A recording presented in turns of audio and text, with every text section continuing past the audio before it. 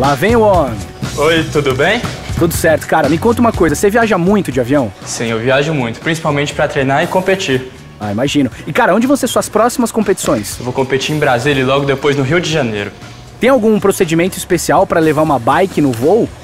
Sim, eu sempre coloco ela num case rígido e algumas companhias costumam cobrar como um volume extra. Ah, pode crer. E você acumula muitas milhas? Sim, eu acumulo muitas milhas viajando. E você viaja frequentemente com essas milhas? Sim, eu sempre viajo usando minhas milhas. E você usa essas milhas para alguma coisa, tipo, sei lá, além de viajar? Sim, eu também uso muito elas para reservar hotéis nas conexões, que costumam demorar bastante. É, ajuda, né?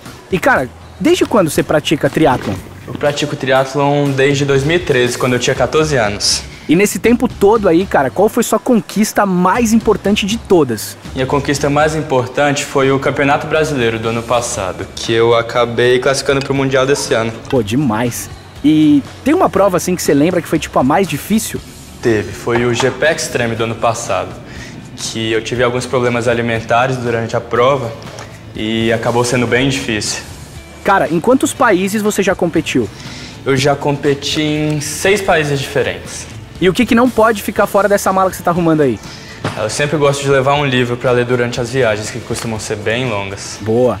E qual que é a sua meta para 2019?